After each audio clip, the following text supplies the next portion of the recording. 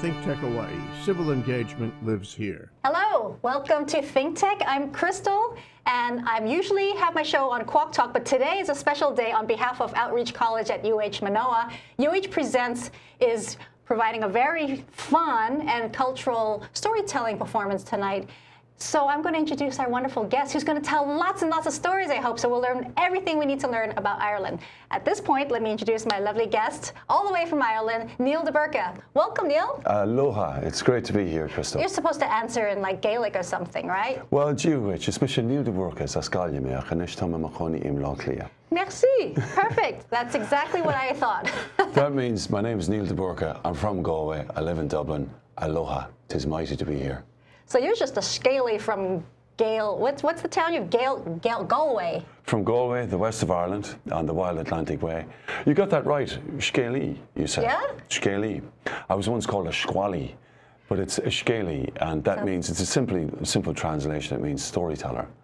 Uh, there's another word for it too, Shanachi, but I have another 20 years before I get that. Okay. So we're talking ancient, ancient times, as your stories do kind of develop their the inspiration from. Now, let's talk about this storytelling. You know, I told my daughter, in fact, I was driving her to rehearsal earlier, and I said, I'm going to be interviewing a storyteller. Um, she says, that's what he does? What, that's his job? And people think, wow, what kind of a person has a job as a storyteller?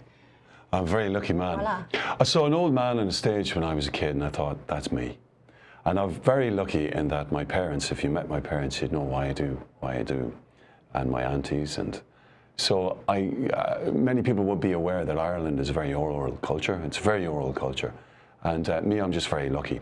I get to tell my stories around Ireland and other places too.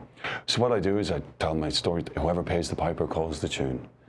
It might be in Galway one day. I actually live in Dublin. Like many Irish, I emigrated quite young, and then when I came back, I'm based in Dublin. It's uh, because of the travel. But I get home to Galway a lot. Uh, but one day you could be in Belfast, you could be down in Cork, you could be in, in the north side of Cork City, or you could be in the rural glens of Antrim up the very north. Uh, many viewers might be familiar of that area because it's on Game of Thrones. A lot of it's filmed there. Or I could be in Wicklow. You might have heard the TV series The Vikings. Yes. Or a lot of it's Do you watch that? a lot How of it, authentic is it compared to what you think? well, it's. Uh, we could spend a whole program talking about that. But the fact is, is that uh, the Vikings are a very real part of uh, the history and tradition of Ireland. In Ireland, it's very fascinating. Um, you can tell someone's ancestry by their name. Okay. So, for instance, if someone had a name like Cotter or Sorensen, uh, you'd know that it would have a Viking ancestor, or indeed my own name. It's very funny when I come to North America. People say, that can't be an Irish name. And sometimes I think I should call myself Patrick O'Reilly or something. Have you ever done the uh, ancestry.com or whatever you call that 23? No, I haven't, but it would be interesting to find out. But uh, you can tell somebody's um, uh, paternal ancestor by their uh, surname in Ireland. So my name, De Burca, is simply, it's a Norman surname. Okay. That's Gaelicized. Uh, so the Normans came and you'd have names like Gibbons and Dillon and Butler and uh, Fitzgerald. These would be names that are very Irish names. And Burke, uh, Jennings. Uh, But throughout they would have history, a do Norman they kind ancestor. of uh, transform throughout history? They do. And the, my name originally would have been de Burgo or de Burg. Okay. And then in 1333, the family then took Irish law, took Irish traditions, and, and now it's de Burca in, in, in Irish. So, but sorry, going back to your storytelling, is you you choose to tell uh, traditional stories, stories from ancient legends of you know things that we don't know about, and why? Why do you choose? Why is so important to talk about traditions and sharing them by storytelling? For me, storytelling is very simple. It's share the joy, honor the ancestors. And we've got all this corpus of ancient myth and legend. Mm-hmm. It needs to be told, it needs to be performed live. And for me, live performance is very, very important. To sit down and share those ancient myths of long ago or a medieval legend, stories of warriors or stories of strong women, stories of how the landscape was formed, stories of the goddesses and gods, that's like the poet holding up the mirror. It's the storyteller just holding up the history, the landscape of us as a people and of all peoples. Because Yeah. the stories are the same no matter where you go. I've heard stories here in Avahi, and you could be listening to an Irish hero myth. I've heard stories in Japan, and you could be it could be an Irish. You could be sitting in an Irish home listening to a ghost story. They're the same wherever you go because people's dreams, their fears, and desires They're the same because we're all the same. But the regional differences, how they, the dreams and the desires and the, and, and, the, and the fears of a people's imagination or the sense of wonder, they just dress up differently to fit the tradition in which that story But do you think that the dreams and imaginations of the younger generation now, particularly who are so consumed and obsessed with social media and technology, that they lose that concept of that live performance, the beauty of of telling a story in person on stage and seeing that acted out, these goddesses and big stories of warriors? This is the bit where I slap the table. Young people are the best. They're great. The teenage audience are the best. People Are say, oh, people say hardest." teenagers can't listen. All what we have to do is present, bring it up there. They love live performances, and they're the greatest uh, audience because they'll, um, if they like it, they'll go, "That was great," and they're really loyal. And if you suck, they'll tell you. you They'll be rolling their eyes Yeah, they're great. So it's it's up to us as artists and performers to to bring it to bring that live performance to get out there and grist to the mill, show the stories, per, perform the stories, and create new ones too. So have you had an experience where you had such a challenging audience that they're just giving you the kind of thumbs down or just didn't care to listen? Or how do you engage them and bring them in and say, hey, It was my job as a performer. That's what I'm there to do, and I love to do it. And I think if you love to do something, people respond to it. And I've been doing this for quite a while now.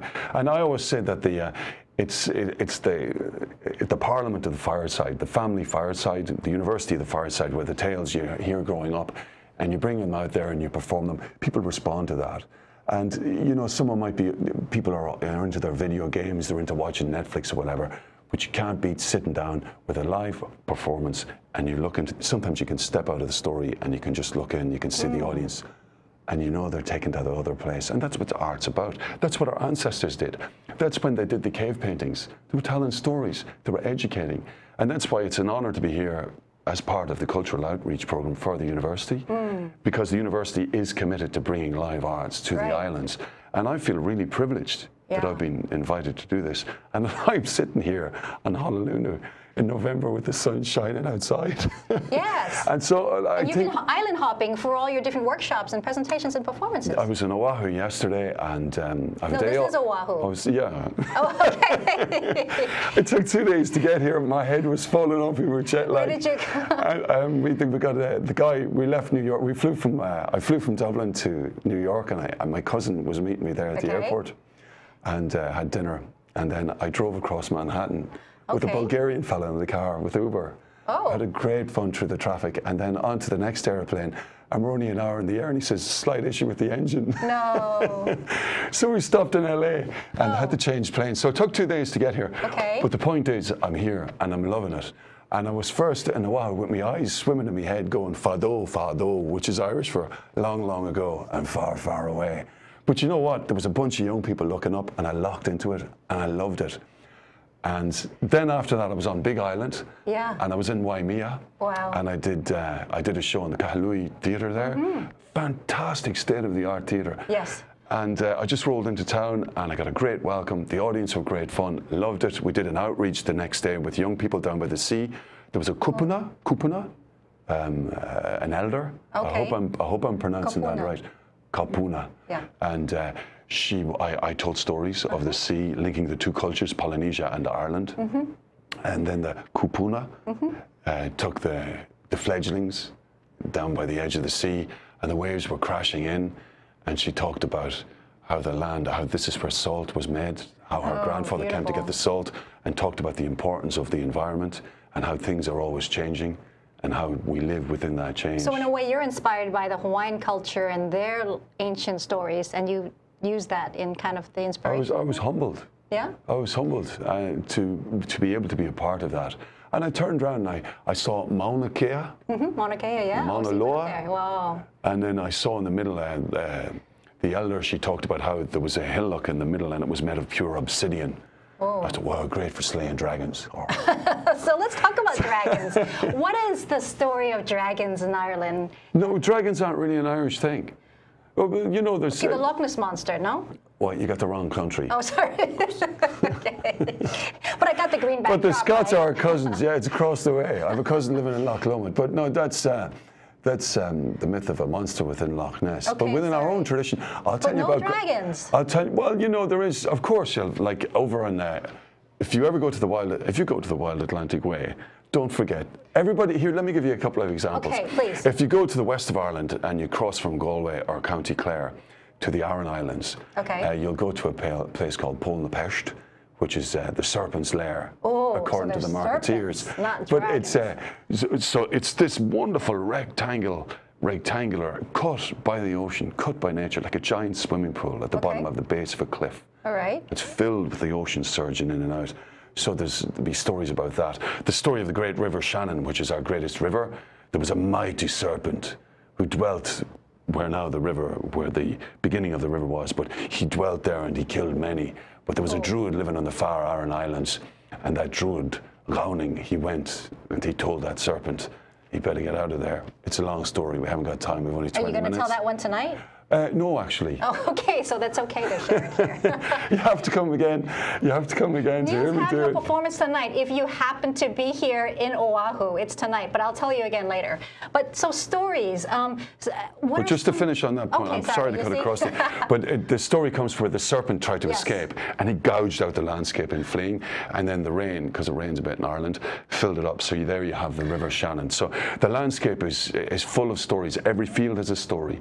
Every river has a story, and we have uh, the story of the Cailleach, which is the, ancient the Cailleach, The which is the representative of the the feminine ancestress, Oh, I like the that. goddess, and she's casting the stones around the landscape. She's forming it. Ah. So that is at the heart of the ancient culture within And the it is land very too. similar to the Hawaiian culture when you think about how the mountains were made and the goddess created the. You know, it's really quite interesting the parallels that different ancient cultures have. Like you said, that's why there is that human connection with all the different places. Like Maui, Yeah. we have uh, you, you know you'd have your demigod Maui. We would have uh, we have a mighty hero called Fionn McCool, or as he's known in, in some dialects, Finn McCool. what is the goddess god of?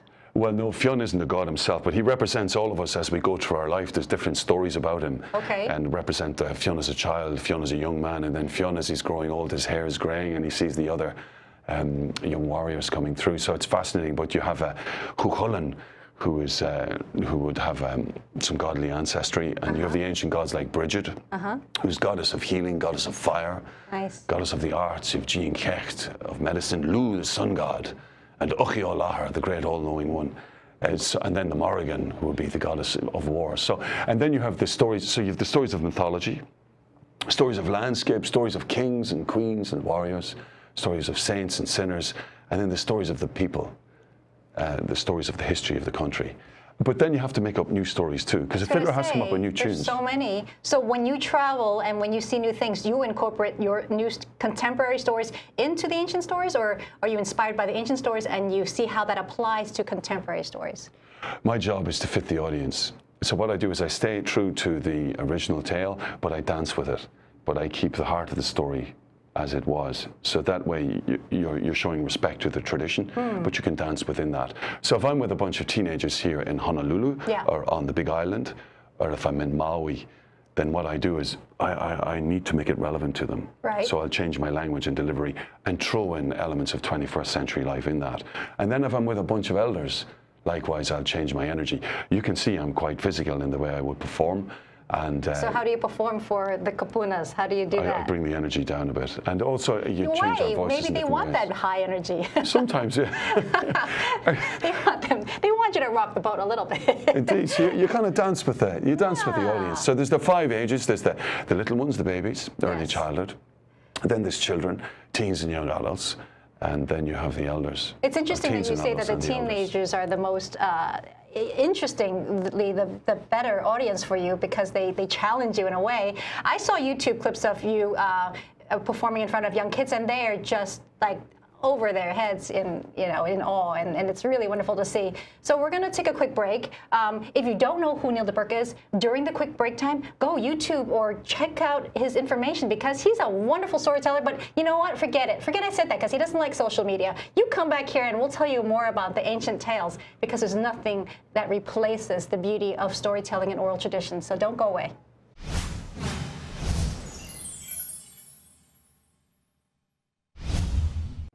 Hey, aloha. My name is Andrew Lanning. I'm the host of Security Matters Hawaii, airing every Wednesday here on Think Tech Hawaii, live from the studios. I'll bring you guests, I'll bring you information about the things in security that matter to keeping you safe your coworkers safe, your family safe, to keep our community safe. Uh, we want to teach you about those things in our industry that you know may be a little outside of your experience. So please join me because security matters. Aloha. And aloha, my name is Calvin Griffin, the host of Hawaii in Uniform. And every Friday at 11 o'clock here on Think Tech Hawaii, we bring you the latest and what's happening within the military community. And we also invite all your response to things that's happening here. For those of you who haven't seen the program before, again, we invite your participation. We're here to give information, not disinformation. And we always enjoy response from the public. But join us here, Hawaii in Uniform, Fridays, 11 a.m., here on Think Tech Hawaii. Hi, we're back here talking story and of the life and beauty of storytelling, uh, Irish storytelling. Um, with Niall de Burca, who's here to perform tonight at the um, Orvis Auditorium at UH Manoa. So if you happen to be watching this and you have enough time, you check out your calendar and you're free tonight at 7.30, go check it out because as Niall says, there's nothing like live performance. And I'm intrigued because a lot of people think, what does it mean to be a storyteller a performing storyteller. I mean, you can tell stories over dinner, you know, you read storybooks to kids when they go to bed, but what does it mean and what does it distinguish you to be a performing storyteller, a professional storyteller? Well, like- Traditional one at that, and Irish. well, you'd have the, you'd have the stories growing up, so you have their DNA in you, but also the ones that uh, that I create are ones that I, sometimes I'm asked to present particular stories. Uh, so what you do is you have to spend a lot of time. It's like a guitarist. There's a lot of stuff that goes into them being on the stage. Sure. There's a lot of time spent. Like I'm here, I'm absorbing stuff the whole time. You got some vibes and going. processing it, yeah. And I've a couple of stories I tell from my experiences in Hawaii. So what happens is you go away and you, you, you think it through, and then it starts to bubble up. And the bubbling up happens when you're relaxed, and then a little bit of inspiration comes. Then you can pop it in somewhere. Then you work on it, tinkering away like a blacksmith. But you need and to then be suddenly open oh, you have to be. for yeah. something to Yeah, and that's the nature of it. And I think it's similar with any artist, any art form. Yeah. You have to open yourself up. You have to give time for that. And a lot of the storytelling, a lot of the stuff I deal with with the young people, and also with children, and grow, with all ages, just take the time. We're all in an age of distraction. What Yes. better thing than just to do nothing for a while and let yourself open up, and therein lieth the muse. Then the muse shows herself, Yeah. and then you can start to dance. And there's nothing better than the joy. I talked about the stuff that goes into getting onto the stage, but when you're on the stage and you just, like tonight, I'm here, thanks for coming, let's go. And we go to another place. Yes. We go to where the ancestors are, or we talk about, uh, I'll throw in a new one that I'm working in for the fun. And people, you know, live performance is great. I love going to live performance myself. Yeah. And anytime I go out on stage, I just think about the people who stand. Anybody who's ever performed before, they're at my shoulder. Hmm. So if you ever have to get up and speak in public, remember, you're not on your own. yeah. Is? But it's not just public um, speaking. For you, it's it's transporting people. The art of transporting people back into another time is, is something beautiful about that. Um, let's transport back into your childhood. Why, what kind of created this language for you and this kind of world that you needed to share with the rest of the world growing up? Well, if you look at the chair with the four, um, the four chair that props it up, the legs of a chair, Mm-hmm. my four legs would be my father's from a place called County Mayo, and I spent a lot of time there as a kid in that landscape with my aunties and cousins, and I, I'm very lucky to have a father who told stories the whole time. And my mother is from a place called County Meath. She was raised in uh, uh, near the bank, um, near the banks of the River Boyne, which is named after an old goddess. Okay. And if you flow down the Boyne from their cottage, you will come to a place called Bruna Boyne, which is the mythological heart of the country. Oh, Um, wow. And in that part of the country, the, it, North Leinster, they have a wonderful way of being, great way of talking, and Hmm. a wonderful way of telling yarns. I also um, have the city of Galway. I'm very lucky Um, I hear they're famous for oysters there. Yep, and if you go to the Galway market of a Saturday and look up Mickey Brown, Mikey Brown, he does the best oysters You in the whole of just whole eat them Ireland. raw, just chuck them. Yep, he'll shuck them for you, and Yeah. they're the most beautiful oysters you'll ever get. What do you want Michael Brown with? in the Galway market of a Saturday. Okay. Sometimes Tony Walsh is there helping him. Okay. And also, uh, also we spent some time in Clare as a child, and now along Ireland's wild Atlantic Way. Are three of those counties, Clare, Galway, and Mayo, and it's a very, the landscape is where the sea meets the land, and where you know, the stories of history have played out. We So like you're thinking a grand surrounded by the beauty of nature and, and like Mother, Mother Earth and mountains and water and everything. And city too. fills you. Galway was like an old medieval Okay. city. But any Irish town. There was a great Irish storyteller called Bryan MacMahon from a place called Listowel in Kerry, where they have a beautiful dialect and they have a beautiful way of, of, of they're proud of their traditional Mm. arts. He said he never had to leave Listowel to see the world. That the world is in every small town. Mm-hmm. And your own great American, Joseph Campbell, great Irish American, Joseph Campbell said, you know, within the little tiniest drop of water, you get the Mm-hmm. whole thing of the, you get the whole thing of life and the universe, the drama, play of universe. As Shakespeare said, the whole world's a stage. Pardon me. I was just going to say, speaking of drama, just I'm just imagining you as a little kid. Were you like doing sword fighting? Were you playing with your uh, siblings or peers uh, with all these kind of imaginary things that people lose now? The kids now just lack imagination because everything's just put onto their plate. Well, that's our responsibility now as adults. But I think kids have the imagination. We just have to get in. So how do you now? by doing it. The person who's telling the story to the kids tonight is the best storyteller in the world. The ma or pa, brother or sister, a granny or granddad who's reading a book or telling the story to the little ones, that's what it's all about. You just do it. Yeah. And the kids will respond. And now I know teachers are telling me, teachers come to my workshops and they're saying that little ones are presenting, you know, with the flick, flick, flick, Yeah. with the iPad thing. Yeah. Some teachers have told me the kids are, the concept of play is no longer there. It's, It's kids there. have it there. Just get in there and tell the stories and play. Get dirty. Take the shoes and socks off and get out in Yes. the dirt and live. And fall off the tree and get stung by nettles. Get up and go have experiences. So it's very straightforward. And I love the stories of the ancestors, but the new stories too are important because our little ones growing up, their mythology is created now. Hmm. So it's important to create the new stories too and perform. I, yesterday I was with some men. Uh, telling stories um, west of Honolulu. Okay. And uh, I told a tale that happened to me down in Waianae. You know Waianae? Yeah.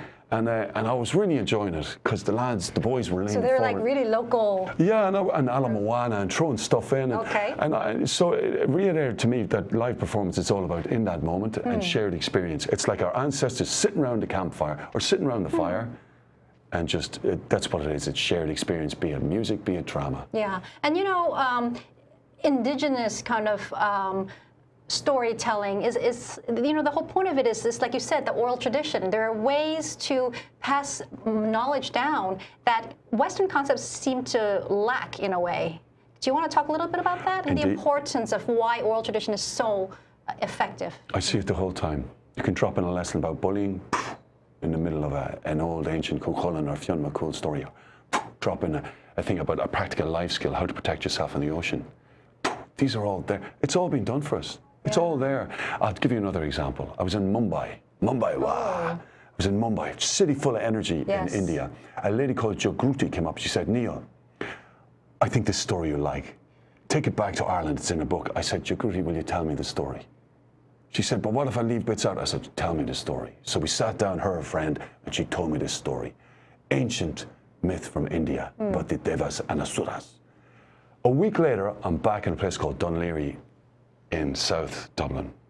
And we're a bunch of young people, and I thought I'd tell the tale, and I jumped to tell the tale. Two minutes into the story, I looked at these ones looking up at me. They were like that. And I thought, that's it. That's the power of myth. It is. Simple, easy as. Everyone has it. Yeah. And there's this ancient tale of India, that mighty ancient culture with a bunch of city Irish kids locked in, 21st century style. Yeah. Share the joy, honour the ancestors. Ní bhris focal maith, fiacail riamh. A good word never broke a tooth. Okay, let's talk about that. I was going to ask you that, and you stole my thunder. What is a good word never broke a tooth? It means this that if you greet the world with a smile on your face and away you go, the world stands back and makes a path for those who know where to they wish to go. In other words, if you get to know, eh, tell you, get out there with a smile on your face. Try and stand in other people's shoes. Do you remember that great American writer Harper Lee? Mm-hmm. Uh, in her book To Kill a Mockingbird. Of course. Atticus Finch, he says to Scout. Oh. Yeah. He says to Scout, you know, Scout, you put yourself in another person's shoes, get the Mm, right, perspective. right. And that's what stories have been doing since the get go. Since their first storytelling session, which was in a cave around a fire, with cave paintings on the wall all around, someone jumped up and told a tale of an experience. everybody got to sit and to stand in another person's shoes. So that's what it is. Um, and that's why I think the program, the, the Cultural Extension program, is so important. Yes. It brings live performance right throughout the islands, schools or to libraries, to theatres, to spaces both indoor and outdoor. That's good stuff. That's grist to the mill. That builds glue. It builds community. So thanks very much to the university for having me over. I And really you're also appreciate it. going, continuing. You have here, you have a couple of workshops here to do, and then you're going to another island. You want to tell us a little bit about that part of your journey? and Busy day. Yeah. Busy day, busy week. Yeah, on Monday I'm off to Maui. Yeah? I'm doing two on Maui, and then Tuesday I'm back to Big Island Okay. early in the morning. Uh, uh, and the different islands have such different energies. Big Island is grand scale, the, the big mighty Pele looking down, That's right, That's and the right. ocean. And then Maui's got another energy, and then of course Kauai. I'm- I hope I'm saying them right. Yeah, And Lanahi, that's all good. and uh, and then after, and then I and then I leave on Thursday. Wait, but what's Oahu for you? What, what's the image of Oahu? Um, for me, it's all like you know the energy of the North Shore is completely different than downtown Honolulu. Yeah. Um, but for me, it's the moment I get here, I get off and I come out. I know it's a cliche, but I see the palm fronds and Mm-hmm. I feel the warm trade winds, Mm -hmm. and I go down to Waikiki or I, I just and So I is it a watch. feminine thing? Is it a I know. I think it's a blend of everything. blend. It's a blend of everything, and I know Honolulu's a big city now. yes? The quite H1 highway. It's like You get stuck on Satan's alley.